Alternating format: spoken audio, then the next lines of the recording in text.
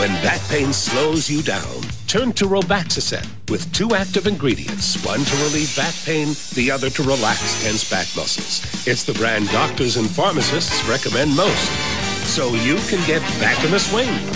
Robaxacet, helping you walk away from back pain.